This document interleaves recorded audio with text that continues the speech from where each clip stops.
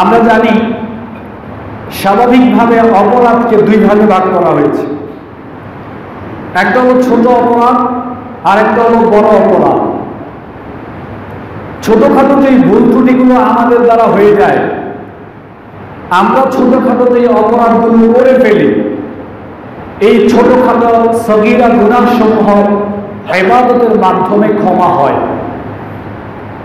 যেমন রমাদান মাসের সিয়াম যদি আমরা পালন করি, তাহলে আমাদের অপরাধকে আল্লাহ ক্ষমা করে দেন।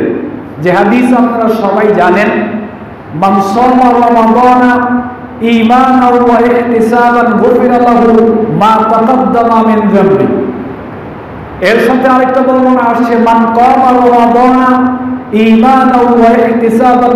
লাহু মা অর্থাৎ রমাদানের সিয়াম যদি কেউ পালন করে সওয়াবের নিয়তে ইমান সহকারে, রমাদান মাসের কেয়ামুল লাইল যদি কেউ করে সওয়াবের নিয়তে ইমান সহকারে ইমান সহকারে সওয়াবের নিয়তে রমাদানের কিয়াম এবং সিয়াম পালন করলে আল্লাহ সুবহানাহু ওয়া আমাদের গুণাসমূহ ক্ষমা করে দেন। এই মর্মে হাদিস আমরা সবাই জানি। এই সিয়ামের মাধ্যমে যে অপরাধ ক্ষমা হয়, সেটা হলো ছোটখাটো গুণা সগীরা গুণা। কেয়ামুল লাইলের মাধ্যমে যে অপরাধ ক্ষমা হয়, সেটা হলো ছোট ছোট গুণা সগীরা গুণা। মান হাজ্জা লিল্লাহি ফালাম ইয়ারফুস ওয়া লাম ইয়াফসুক রাজাকা ইয়াউমিন ওয়ালাদাতহু উম্মুহু। রাসূল সাল্লাল্লাহু আলাইহি ওয়াসাল্লাম বলছেন, যে ব্যক্তি হজ করল আল্লাহর জন্য দুনিয়াবি কোনো দুনিয়াবি কোনো বিষয়কে টার্গেট করে, দুনিয়ার কোনো বিষয়কে সামনে রেখে হজ করে নাই।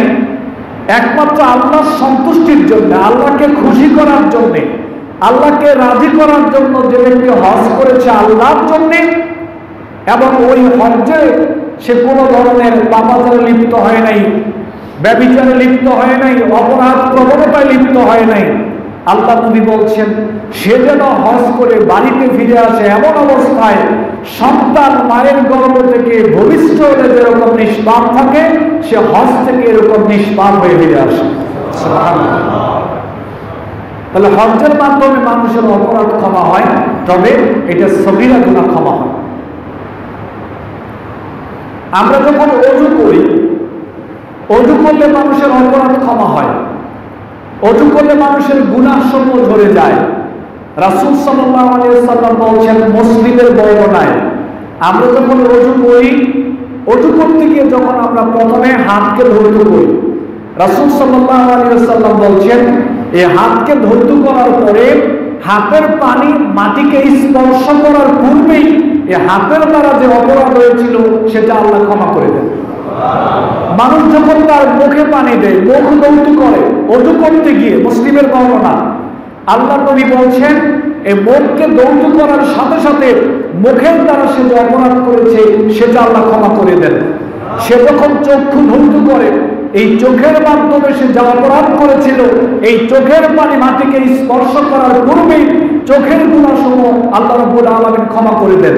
সে যখন তার পাকে ধৌত করে, আল্লাহ নবী বলছেন এই পায়ের পানি মাটিকে স্পর্শ করার পূর্বেই পায়ের দ্বারা সে যা অপরাধ করেছে, রাসূল আলাইহি সাল্লাম বলেছেন, আল্লাহ তার অপরাধকে ক্ষমা করে দেন। এমনকি হাত্তা নাকিয়া মিনাল যুনুবি, তার অজু যখন কমপ্লিট হয়ে যায়, তখন তার সগিরা গুনাহ সমূহ থেকে যত গুণা রয়েছে, তার কোনো গুণাই থাকে না। সুবহানাল্লাহ। তাহলে অজুর মাধ্যমে মানুষের সগিরা সমস্ত গুনার খাতা আল্লাহ রবুল্লাহ আলমী বলেছেন, এটাকে মুছে দেন। আল্লাহ নবী বর্ণনা করেছেন অজুর মাধ্যমে মানুষের সমস্ত সগিরা গুনার খাতা ঝরে দেওয়া হয়। সলাতের মাধ্যমে রাসুল সাল্লামের বর্ণনায় আসছে, সলাতের মাধ্যমে আল্লাহ রবুল আলমী তার বান্দার গুণাকে ক্ষমা করে দেন। لو أن نهرا في باب أحدكم يغتسل في كل يوم خمسة هل يبقى من دربه شيء সবাই কারণকে আল্লাহ নবী জিজ্ঞেস করলেন কারো বাড়ির দরজার সামনে যদি একটা নহর প্রবাহিত হতে থাকে আর সে যদি সেখানে দৈনিক পাঁচবার গোসল করে তার শরীরে অবশিষ্ট কোনো ময়লা থাকবে কি সাহাবিকরাম বললেন যে না তার শরীরে অবশিষ্ট কোনো ময়লা থাকার কথা নয় আল্লাহ নবী বললেন পাঁচ ওয়াক্ত সালাতের উদাহরণ তদ্রুপ দৈনিক যদি কেউ সুন্দর করে পাঁচ ওয়াক্ত সালাত আদায় করে, দৈনিক পাঁচবার গোসল করলে যেটি তার শরীরে কোনো ময়লা থাকার কথা নয়, ময়লা থাকবে না। দৈনিক পাঁচ ওয়াক্ত সালাত সুন্দর করে যদি কেউ আদায় করে, তার আর কোনো গুনাহ থাকে না। তাহলে এগুলো হলো সগিরা গুনাহের কথা বলা হয়েছে। সালাতের মাধ্যমে, সিয়ামের মাধ্যমে হজ্জের মাধ্যমে, দানের মাধ্যমে, তাওবার মাধ্যমে আল্লাহ রাব্বুল আলামিন এই ইবাদতের মাধ্যমে আমাদের যে গুনাহগুলো ক্ষমা করে দেন, সেগুলো হলো ছোটখাটো সগিরা গুনাহ সমূহ বোখারির বর্ণনায় আসছে, মুসলিমের বর্ণনায় আসছে, আবু হুরায়রা রাদিয়াল্লাহু তাআলা আনহু থেকে বর্ণিত যে হাদিস আমি শুরুতেই পাঠ করেছি। রাসূল সাল্লাল্লাহু আলাইহি ওয়াসাল্লাম বলেছেন খামস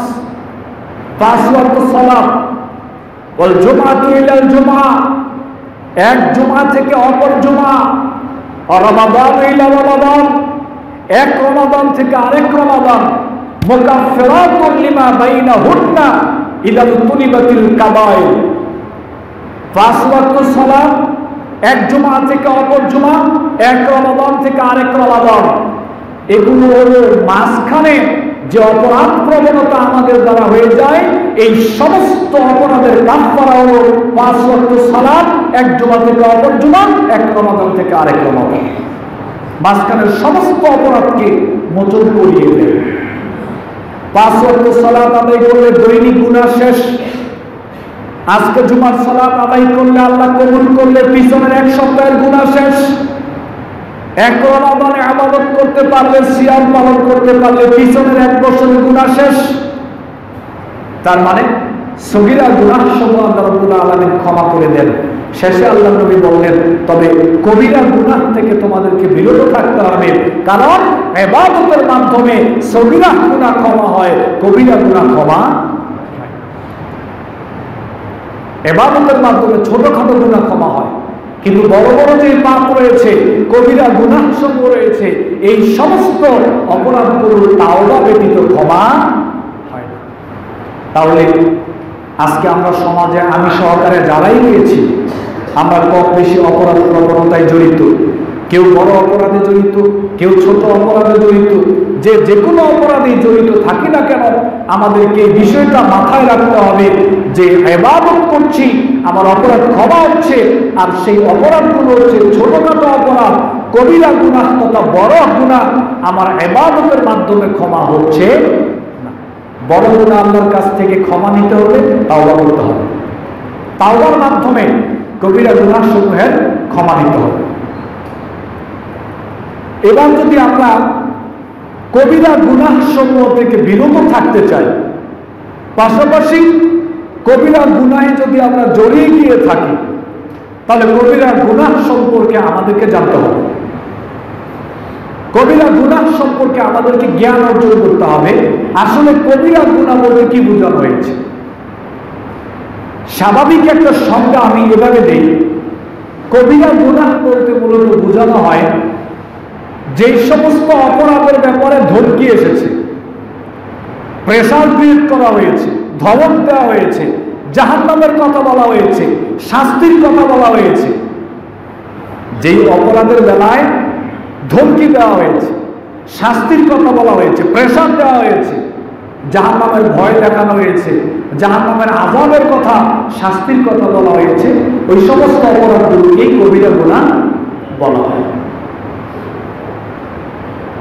ইমাম জাহাবি আল কাবাইর নামে একটা বই লিখেছেন, কবিরা গুনাহ সমূহ উনি ওনার বইটাতে প্রায় সত্তরটির মতো কবিরা গুণাকে একত্রিত করেছেন। দলিলের ভিত্তিতে প্রায় সত্তরটির মতো কবিরা গুনাহকে একত্রিত করেছেন। আরও বেশিও থাকতে পারে। তবে সত্তরটি আলোচনা করা এক জুমায় সম্ভব নয়। আমি আপনাদেরকে কয়েকটা ধারণা দিব এবং এই ব্যাপারে আমাদের একটা পেরেশানি থাকা উচিত। আমি শুধুমাত্র এটা বোঝানোর চেষ্টা করব যে কবিরা গুনাহ সম্পর্কে আমাদের ভিতরে প্যারেশানি থাকা উচিত এই সম্পর্কে জানা উচিত এবং জেনে কবিরা গুনাহ থেকে বিরত থাকা উচিত। এই মর্মে আপনাদেরকে সচেতন করার জন্যই মূলত বিষয়টা নিয়ে কথা বলা। তবে সবগুলো করতে পারব যেমন রাসুল আলাইহি ওয়াসাল্লাম সাহাবায়ে জিজ্ঞেস করলেন সাহাবায়ে কেরামকে বললেন, আলা উনাব্বিউকুম বিআকবারিল কাবাইর? আমি কি তোমাদেরকে কবিরা গুনাহ সম্পর্কে জানাব না? আমি কি তোমাদেরকে কবিরা গুনাহ সম্পর্কে খবর দিব না? সাহাবায়ে কেরাম বলেন যে ইয়া অবশ্যই আমাদেরকে কবিরা গুনাহ সম্পর্কে আপনি খবর দেন। কবিরা গুনাহ সম্পর্কে আপনি আমাদেরকে জানান।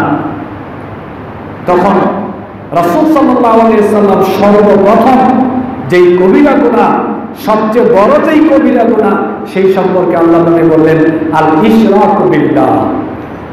আল্লাহর সাথে শিরিক করা, এটা হচ্ছে সবচেয়ে বড় অপরাধ, সবচেয়ে বড় কবিরা গুনাহ। আসমানের নিচে, জমিনের উপরে, সমস্ত কবিরা গুনাহ সমূহ থেকে সবচেয়ে বড় কবিরা গুনাহ যেটা, সেটা হলো আল্লাহর সাথে করা। সাহাবে কারণকে আল্লাহ নবী জিজ্ঞেস করলেন আইনুল জানবে আকবর? আরেক জায়গায় আসছে আইনুল জানবে আজম? সবচেয়ে বড় কবিরা গুণা কোনটা জানো? সাবেকরাম কারাম বললেন ইয়ারসুল্লাহ আমাদেরকে জানিয়ে দেন। আল্লাহ নবী বললেন আন্তাজ আল্লাহ যে আল্লাহ তোমাকে সৃষ্টি করেছেন ওই আল্লাহর সাথে শিরিক করা, ওই আল্লাহর সাথে অংশীদার, সাব্যস্ত করা, এটা হচ্ছে সবচেয়ে বড় কবিরা গুণা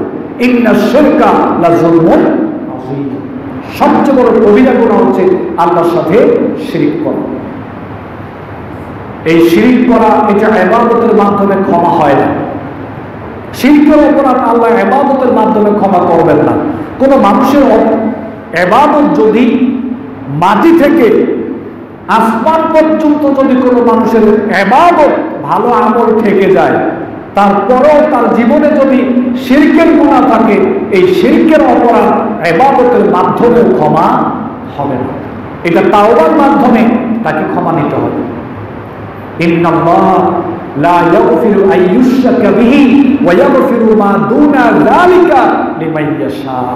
আল্লাহ বলছেন, আমি শিল্পের অপরাধ ক্ষমা করব এর বাইরে যত ছোটখাটো অপরাধ আছে, আমি ইচ্ছে করলে ক্ষমা করে দিতে পারি, কিন্তু শিল্পের ব্যাপারে আমি জানিয়ে দিলাম, আমি কিন্তু শিরকের অপরাধ ক্ষমা তার মানে হলো, মৃত্যুর পূর্বেই তাওবা করে করতে হবে। যদি শিরিক করা অবস্থায় তাওবা বিহীন কোন মানুষ মারা যায়, তাহলে সে ক্ষতিগ্রস্ত হবে। শিরিক করা অবস্থায় তাওবা না করে যদি কেউ মারা যায় তাহলে এক নাম্বার ইন্নাল্লাহ লা ইয়াগফিরু আই ইউশরাকা বিহি ওয়া ইয়াগফিরু মা দুনা যালিকা লিমান ইয়াশা তার এই অপরাধ ক্ষমা হবে না দুই নাম্বার ولقد أوحي إليك وإلى الذين من قبلك لئن أشركت ليحبطن عملك ولا تكونن من الخاسرين দুই নম্বর তার সমস্ত আমলগুলোকে বাতিল করে দেওয়া হবে। এই আমল আল্লাহর কাছে গ্রান্টেড হবে। তিন নম্বর তার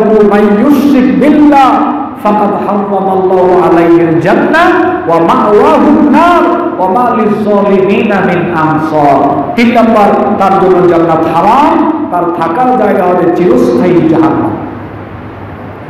তাহলে শিরক সবচেয়ে বড় কবিরা গুনাহ। অবশ্যই এটা তাওবা করতে হবে ইবাদতের মাধ্যমে। এটা আল্লাহ ক্ষমা করবেন না, আল্লাহ জানিয়ে দিয়েছে। আমি নরসিংদীতে একদিন খুতবা দিচ্ছি পাঁচদোলা মোড়ে তো সেখানে খুদবা দিতে গিয়ে আমি এই আয়াত বললাম। সম্ভবত ময়মনসিং থেকে একজন লোক সেদিন আসছিল, যতটুকু আমার মনে পড়ে। তো জুমার খুতবার পরে আমাকে জিজ্ঞেস করল যে, ভাইজান, সমস্ত অপরাধ বান্দার আল্লাহ ক্ষমা করে দিতে পারে। সকল অপরাধ বান্দার আল্লাহ ক্ষমা করে দিতে পারে। শিল্পের অপরাধ আল্লাহ ক্ষমা করবেন না। কেন? শিল্পের সাথে আল্লাহর এত শত্রুতা কেন? কেন আল্লাহ মাফ করবেন না? তো দেখলাম যে প্রশ্নটা খুবই সুন্দর এবং এই মুহূর্তে লোকটাকে বোঝানো সহজ। তখন আমি ওনাকে জিজ্ঞেস করলাম ভাইজান, বিয়ে করেছেন? বলল যে হ্যাঁ বিয়ে করেছি। বললাম, আপনার ওয়াইফ আপনার কাছে কেমন? একটু বর্ণনা আমাকে দেন। বলল যে আমার ওয়াইফ খুবই সুন্দর, খুব দিনদার, খুব ভদ্র একজন মহিলা, আমার ওয়াইফ খুবই ভালো মানুষ। বললাম যে ওয়াইফকে ভালোবাসেন কেমন? বললাম আমার ওয়াইফকে আমি অনেক ভালোবাসি। বললাম, মাত্রাটা কেমন? বলল ওয়াইফকে আমি এতটা ভালোবাসি যে একদিন না দেখলে আমি থাকতে পারি না একদিন সে আমার চোখের আড়াল হলে আমি থাকতে পারি না আমি তাকে এত ভালোবাসি। তো আমি বললাম যে সাংসারিক জীবনে কোনো অসুবিধা হয় না? সে কোনো সমস্যা করে না? বলে যে হ্যাঁ কিছু অসুবিধা করে। কি অসুবিধা করে? বলল, খাবার পাকাইতে গিয়ে মরিচ বেশি দেয়, অথবা হলুদ বেশি দেয়, বা লবণ বেশি দিয়ে দেয়, বা ভাত নরম করে ফেলে, বা কাপড় আয়রন করতে গেলে পুড়ে ফেলে। দৈনন্দিন এরকম কিছু অসুবিধা সে করতেছে। তাই বললাম যে কিছু বলেন না। কয়, না না, কিছু বলি না। বললাম, কেন বলেন না? কারণ আমি আমার স্ত্রীকে অনেক ভালোবাসি। আমার ভালোবাসার তুলনায় এই অপরাধগুলো আমার কাছে কিছুই না। আমার ভালোবাসার তুলনায় এই অপরাধগুলো আমার কাছে কিছুই না। আমি বললাম যে, সত্যি আপনি আপনার স্ত্রীকে এত ভালোবাসেন? বলল যে হ্যাঁ আমার স্ত্রীকে আমি অনেক ভালোবাসি। এইবার আমি ওনাকে বললাম, ভাইজান, কিছু মনে নিয়েন না, আপনাকে বোঝানোর জন্য বলি। বলল যে আচ্ছা বলেন। আমি বললাম যে, আপনি এখন এই মুহূর্তে বাড়িতে গিয়ে যদি আপনি দেখেন যে আপনার স্ত্রী অন্য একজন পরপুরুষকে নিয়ে আপনার বিছানায় শুয়ে আছে, কিছু মনে নিয়ে না, বোঝানোর জন্য বলছি। আপনি যদি এখন বাড়িতে গিয়ে দেখেন যে আপনার স্ত্রী, এই ভালোবাসার স্ত্রী, অন্য একটা পর পুরুষকে নিয়ে আপনার বিছানায় শুয়ে আছে, এটা নিজ চোখ দিয়ে যদি আপনি দেখেন, তাহলে অবস্থাটা কি হবে? আপনি কি করবেন? স্ত্রীর প্রতি একটাই ভালোবাসার মহব্বত আছে। এটা কি থাকবে না কমবে না বাড়বে নাকি বউকে তালাক দিয়ে দিবেন? বিশ্বাস করুন, সে সজ্ঞানে, স্বেচ্ছায় আমাকে বলেছে যে, ভাই, যদি এরকম কোন পরিবেশ আমার স্ত্রী আমার সামনে করে, আমি আমার স্ত্রীকে যতই ভালোবাসি না কেন, একটা সেকেন্ড দেরি হবে না আমি আমার বউকে তালাক দিয়ে দেব। আমি বললাম যে, ভাইজান এত মহব্বতের স্ত্রী, এত ভালোবাসার স্ত্রী, যাকে একদিন না দেখলে থাকতে পারেন না, সে কি এমন অপরাধ করল যে সেকেন্ডের মধ্যেই তাকে তালাক দিয়ে দিবেন? এবার সে বলল যে, ভাই, আমার স্ত্রী আমার হকটা অন্য একটা পরপুরুষকে দিয়েছে। এটাই হলো স্বামীর কাছে স্ত্রীর জন্য সবচেয়ে বড় অপরাধ। তাকে আমি অনেক ভালোবাসি, এই কথা সত্য। কিন্তু আমি স্বামীর হক যদি সে অন্য কোনো পরপুরুষকে দিয়ে দেয়, তাহলে সমস্ত ভালোবাসার তুলনায় এই অপরাধের মাত্রাটা বেশি হয়ে যায়। তখন আমি বললাম ভাইজান, আল্লাহর ব্যাপারটাও এরকম। আমরা টুকটাক যত অপরাধ করি না কেন, আল্লাহর ভালোবাসার তুলনায়, বান্দার প্রতি আল্লাহর দয়ার তুলনায় সেই অপরাধ কিছুই না। কিন্তু বান্দা যখন আল্লাহর হকটা আল্লাহকে না দিয়ে কোন সৃষ্টি বা কোনো গাইরুল্লাহকে দেয়, সাথে সাথে আল্লাহর সমস্ত ভালোবাসার তুলনায় আমার অপরাধের মাত্রাটা বেশি হয়ে যায়। যার কারণে আল্লাহ আমাকে তালাক দিয়ে দেন। আল্লাহ তালাক মানে? ইমানদারের খাতা থেকে নামটাকে কেটে দেন, এটা হলো আল্লাহ তালাক। বান্দাকে আল্লাহ তালাক দেন মানে হলো ইমানদারের খাতা থেকে নামটা কেটে দেওয়া হয়, তার আমলকে বরবাদ করে দেওয়া হয় মোর্শেকে রূপান্তরিত হয়ে যায়, তার ইমান চলে যায়। তখন সে বলল, ভাই, আমি বুঝেছি আসলে কেন আল্লাহ শিরকের অপরাধ ক্ষমা করবেন না। আমি স্বামী হয়ে যদি আমার বড় অপরাধ ক্ষমা না করতে পারি তো যে আল্লাহ গোটা পৃথিবীর সমস্ত কিছু আল্লাহর হাতে, সব কিছু যে আল্লাহ করছেন, আমি কি করে সে আল্লাহর হকটা আল্লাহকে দিলে আল্লাহ আমাকে ক্ষমা করতে পারেন সফান সম্মানিত উপস্থিতি শির্ক হল কবিরা গুণা সময়ের মধ্যে থেকে সবচেয়ে বড় অপরাধ, এটা তাওবা ব্যতীত এটা মাফ হয় না। মন থেকে খালেস নিয়তে ভালোভাবে এই শিল্পের জন্য আল্লাহর কাছে তাওবা করতে হয়। তাওবা করলে অবশ্যই অবশ্যই শিল্পের মতো অপরাধ শিল্পের মতো নেককারজনক শিল্পের মতো এত বড় অপরাধ যদি কেউ করে, তারপরেও যদি কেউ তাওবা করে, অবশ্যই শিল্পের অপরাধ তাওবা করলে ক্ষমা এরপরে আল্লাহ নবী বললেন আল ইসরাকু বিল্লাহ, আল্লাহর সাথে শিরিক করা। এরপরে বললেন এরপরে বললেন এরপরে কবিরা গুণা হলো পিতামাতার অবাধ্য হওয়া। সন্তান পিতামাতার অবাধ্য হবে। পিতামাতার সাথে ভালো আচরণ করবে না। সন্তান পিতামাতাকে মারধর করবে, গালিগালাজ করবে বাপার হক আদায় করবে না, তাদের প্রতি সদাচরণ করবে না, তাদের প্রতি একসান করবে না। এটা হচ্ছে কবিরা গুণা আজকে এই যে আমরা এখানে সলাদ আদায় করতে আসলাম, কি পুরুষ কি নারী, এখানে অনেকেই আমরা পাঁচ সপ্তাহ সলাদ আদায় করি, কিন্তু অনেকেই আবার আমরা এদের মধ্যে আমরা অনেকেই এরকম আছি যারা বাবা মার সাথে সম্পর্ক ভালো না, বাবা মাকে খাবার দেই না, বাবা মার প্রতি একসান করি না, বাবা মার প্রতি সদাচরণ করি না, বাবা মার প্রতি বিরক্ত, বাবা মাকে ভালো লাগে না, এরকম আল্লাহওয়ালা মানুষ এরকম এখানে অনেক আছে। তাহলে বাবা মার সাথে যাদের সম্পর্ক ভালো না। যারা বাবা মাকে কষ্ট দিচ্ছি, যারা বাবা মার হক নষ্ট করছি, এই স্পষ্টভাবে এটা মাথায় রাখতে হবে, এই পৃথিবীতে কোনো আবাদত নাই যে আবাদত করলে এই কবিরা গুণা ক্ষমা হতে পারে তাও আসাম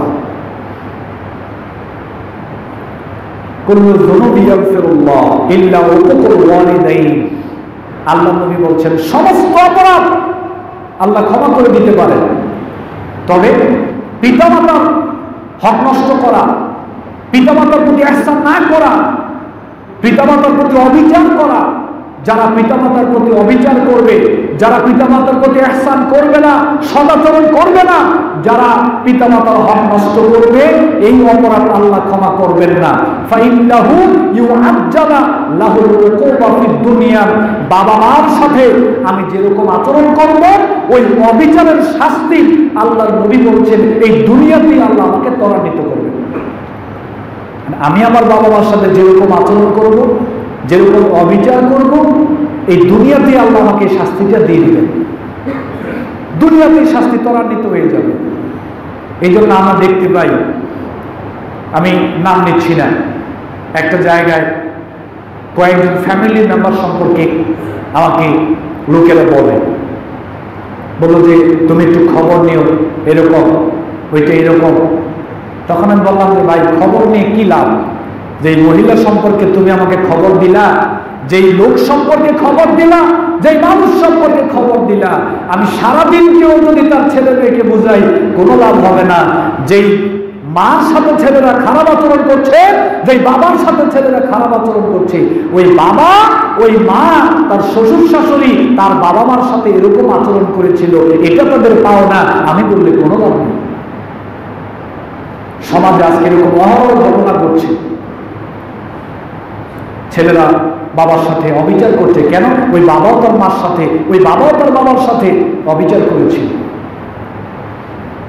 অতএব পিতামাতার প্রতি অবিচার করা, এটা কবিরা গুণা এটা তাওবাতে কিন্তু ক্ষমা হবে না। কোনো এবাদত করলে এই অপরাধ ক্ষমা হবে না। যদি কেউ তাওবা না করতে পারি, বাবা মার কাছ থেকে ক্ষমা না নিতে পারি, তাহলে অপেক্ষা করেন, শাস্তি এই দুনিয়াতেই আল্লাহ দেবেন। পরকালে তো বাকি। এরপরে আল্লাহ নবী বললেন আরেক জায়গায় মিথ্যা কথা বলো। মিথ্যা সাক্ষ্য দেওয়া। কবিরা গুণাসমূহের মধ্যে একটা হচ্ছে মিথ্যা কথা বলা, মিথ্যা সাক্ষ্য দেওয়া। আজকে মিথ্যা সাক্ষীর অভাব নাই। কোর্টে গেলে শুধু মিথ্যা সাক্ষী আর সাক্ষী? কোথা থেকে যে সাক্ষী বানানো হচ্ছে? আল্লাহ আল্লাহ আল্লাহ জানে। টাকা হলে এখন আর সাক্ষীর অভাব হয় না। সমানে চলছে আজকে মিথ্যা কথা, সমানে চলছে আজকে মিথ্যা সাক্ষ্য দেওয়া। একটা মিথ্যা সাক্ষীর মাধ্যমে আজকে ভালো মানুষ বিপদগ্রস্ত হচ্ছে, আজকে অসহায় মানুষ বিপদগ্রস্ত হচ্ছে, আজকে দিনদার মানুষগুলো বিপদগ্রস্ত হচ্ছে এই মিথ্যা সাক্ষীর কারণে। হয়রানি হচ্ছে মিথ্যা সাক্ষীর কারণে। অথচ এটা কবিরে গুণা। এটা কি গুণা? কবিরে গুণা।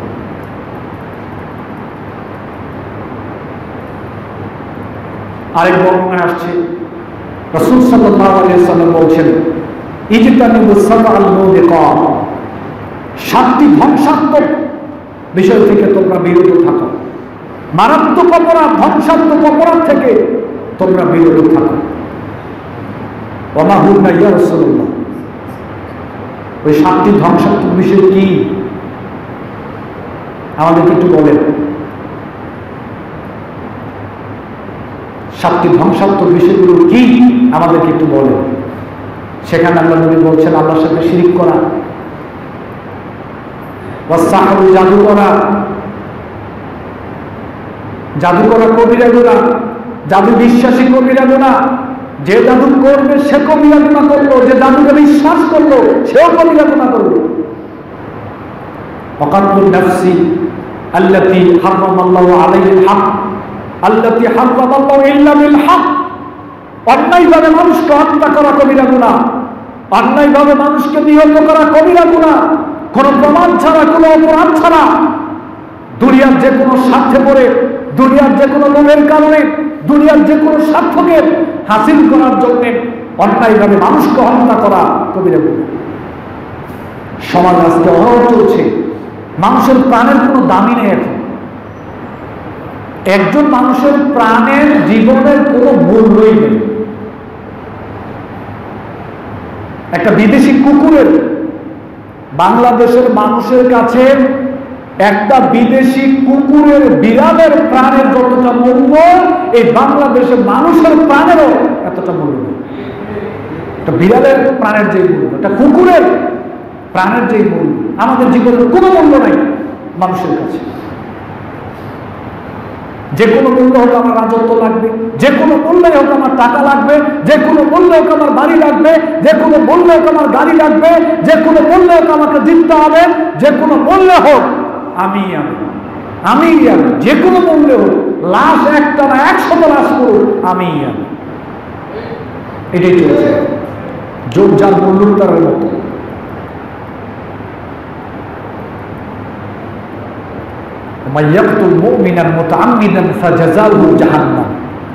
আল্লাহ বলছেন, কেউ যদি কোনো মোমেনকে ইচ্ছাকৃতভাবে হত্যাই করে, তার থাকার জায়গা জাহান্নাম। কোনো ইমানদার নর নারীকে কেউ যদি হত্যা করে, তার থাকার জায়গা জাহান্নাম। কি হচ্ছে আজকে সমাজে? পত্র পত্রিকায় মিডিয়াতে, সোশ্যাল মিডিয়ায় সমানে মানুষ মরতেই আছে, মানুষ মরতেই আছে। জমি নিয়ে বিরোধ ক্ষমতা নিয়ে বিরোধ টাকা পয়সা নিয়ে বিরোধ তারপরে খেলাধুলা নিয়ে বিরোধ এরপরে মেয়ে কেলেঙ্কারি নিয়ে বিরোধ কত কিছু সমানে প্রাণহানি হচ্ছে। অতএব আমি বলব, এগুলো কবিরা গুণা। মানুষকে মিথ্যা অপবাদ দেওয়া কবিরা গুণা। আজকে সমাজে মানুষ মানুষের ব্যাপারে দেখবেন, মিথ্যা প্রচার করতে বেশি পছন্দ করে। আমি আপনার ব্যাপারে, আপনি আমার ব্যাপারে। মানুষ মানুষের ব্যাপারে মিথ্যা বলতে খুব ভালোবাসে। এখন আমার সামনে আসতেছে মিথ্যা বলার সময়। সামনে নির্বাচন। আমি কোনো দলকে ইন্ডিকেট করে বলছি না, আমি সবাইকে ইন্ডিকেট করে বলছি। যারা আমরা ভিতরে এসেছি, নামাজ পড়ছি, সবাইকে বলছি। মানে সামনে আসতেছে মিথ্যা বলার যোগ মিথ্যা অপবাদের যোগ আপনি আমার বিরুদ্ধে দাঁড়িয়েছেন, আমি আপনার বিরুদ্ধে দাঁড়িয়েছি। আমি আপনার ব্যাপারে বলব, আপনি আমার ব্যাপারে বলবেন। এবার আমার মধ্যে থাকুক আর না থাকুক, আপনার মধ্যে থাকুক আর না থাকুক। আপনি আমার নামে মিথ্যা বানিয়ে বলবেন, আমি আপনার নামে মিথ্যা বানিয়ে বলব। না অমুকে তো এটা করেছে? আরে ভাই মানুষই নেই হে গেলে এটা করবে, হে আবার আমারে বলবে, আমি আপনাকে বলব। এরপরে কত ওয়াদা? ওয়াদার তো অভাব নাই। মনে হচ্ছে ওয়াদা করার সময় যে পুরো পৃথিবীটা পারলে আপনাকে দিয়ে দিলাম। এটা কত কিছু হাই হাই কি দরকার আছে ওয়াদাগুলো করা সর্বোচ্চ বলতে পারেন যে বাংলাদেশের যেহেতু নির্বাচনী সিস্টেম গণতান্ত্রিক পদ্ধতি যেহেতু চালু হয়েছে, যদিও ইসলাম এটাকে সমর্থন করে না, কিন্তু বাংলাদেশের মানুষ এদেরকে মেনে নিয়েছে। আপনি সর্বোচ্চ কথা বলতে পারেন। আমি চেয়ারম্যান প্রার্থী, যদি আপনারা আমাকে যোগ্য মনে করেন, আপনারা যদি মনে করেন যে আমি বিজয়ী হলে, আমি চেয়ারম্যান হলে আমার দ্বারা আপনাদের উপকার হবে, তাহলে আপনাকে, আপনারা আমাকে সহযোগিতা করবেন। কি দরকার আছে এটা বলার? কত ওয়াদা? রাস্তা, বাড়ি, গাড়ি ব্যাংক ব্যালেন্স কোনো দরিদ্র থাকবে না, চাকরিবিহীন কেউ থাকবে না, এখন তো ঘরে ঘরে চাকরি। বেকার বাংলাদেশে নাই বললেই চলে, কোনো বেকার নাই। সব সমানে। কি দরকার আছে মিথ্যা কথাগুলো বলার? কোনো দরকার নেই, মিথ্যা বলার কবিরা গুণা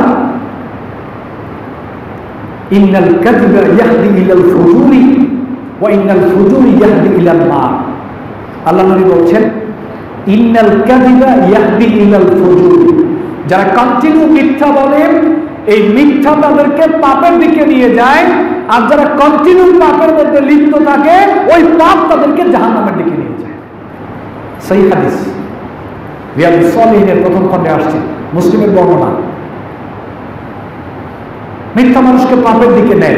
তখন সে পাপ করতে পছন্দ হয়, দেখে যে পাপ করলে লাভ হয়, তখন এই পাপই তাকে জাহান্নামের দিকে নিয়ে যায়।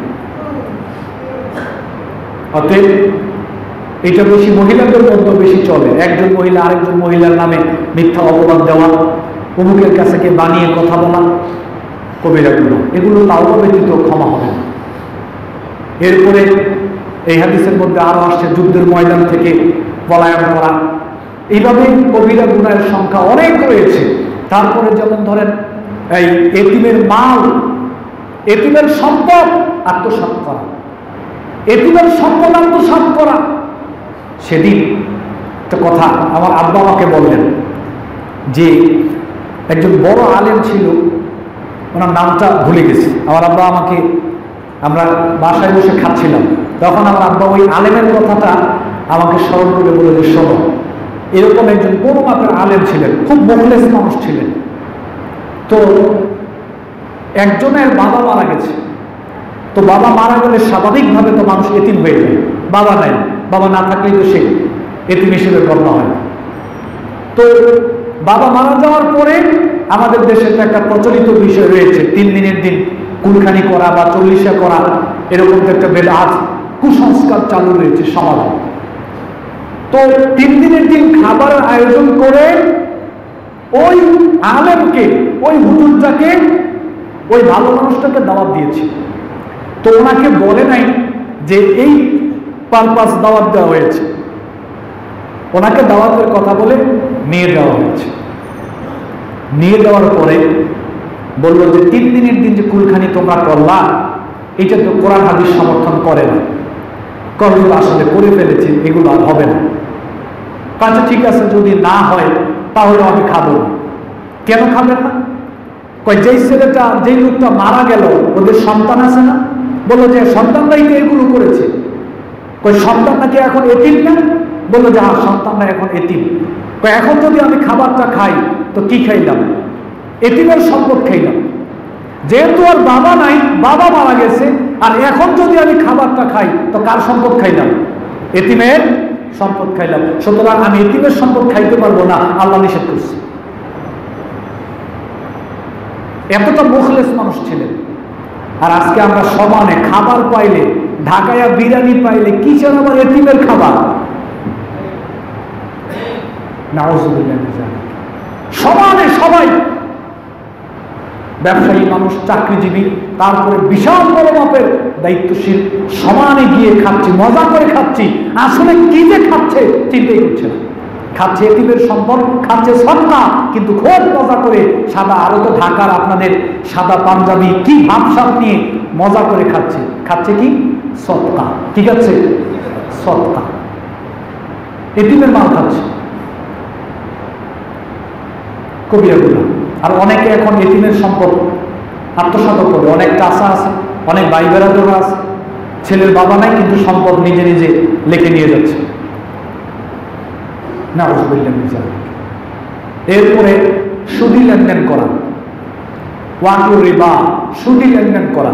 সুদের সাথে জড়িয়ে যাওয়া। কবিরা গুণা। তওবা ব্যতীত মাপ হবে না। এবাদতের মাধ্যমে মাপ হবে না। এটা কবিরা গুণা। ঘুষের সাথে জড়িয়ে যাওয়া, কবিরা গুণা। আর সমাজে যখন ঘুষ চলে না, ঘুষের নামে হাদিয়া চলে। ঘুষের নামে হাদিয়া চলে। ঘুষ চলে না এখন। বিচার হবে।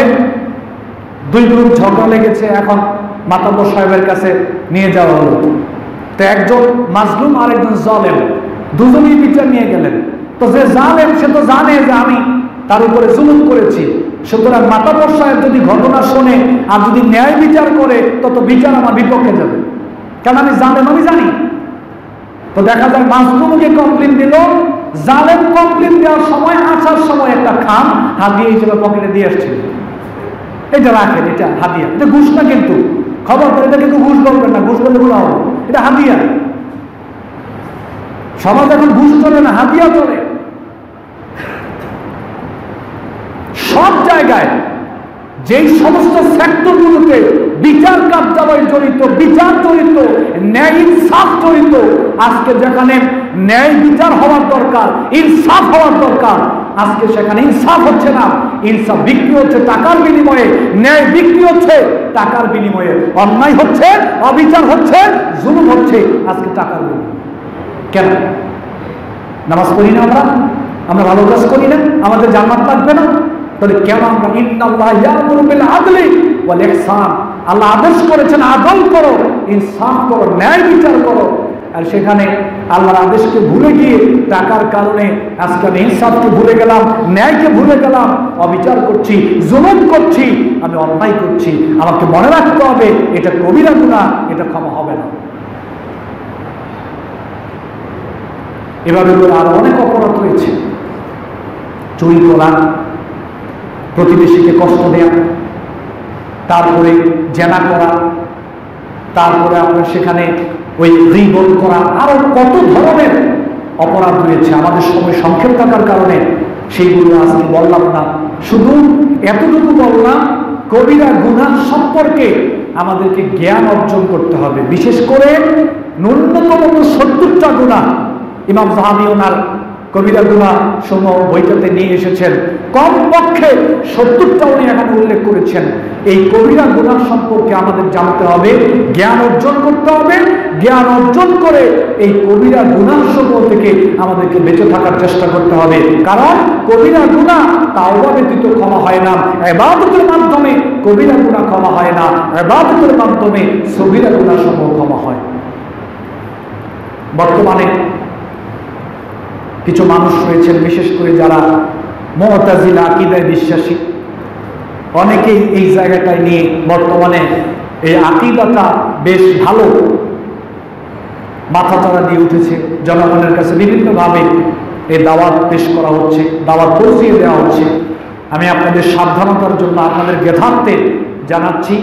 মমতাজিলা যে আকিদাগুলো রয়েছে, নিঃসন্দেহে বিভ্রান্তি, গোমরা, এই আকিদা সমূহ থেকে আমাদেরকে বেঁচে থাকতে হবে, বিরত থাকতে হবে। এর মধ্যে একটা আকিদা হলো, যারা কবিরা গুণার সময়ে লিপ্ত, তারা জান্নাতে যাবে না। তারা চিরস্থায়ী জাহান্নাম। কিন্তু আহলে সুন্নত জামাতের আকিদা হলো কবিরা গুনাহের মধ্যে যদি কোনো মানুষ লিপ্ত হয়ে যায় সে তার এই পাপের শাস্তি পাওয়ার পরে হলেও সে যদি মুক্ত ইমানের অধিকারী হতে পারে, তাহলে ইমানের সম্মানের কারণে ইমানের মর্যাদার কারণে একদিন না একদিন আল্লাহ অবশ্যই তাকে জান্নাত দিবেন। সরিষার দানা পরিমাণ, অনু পরিমাণ, পরমাণু পরিমাণ ইমাম থাকলেও যদি সেই ইমামটা মুক্ত হয়, অবশ্যই আল্লাহ তাকে জান্নাত দিবেন। এই মহতাজিল আকিদের মধ্যে এখন বেশ ভালো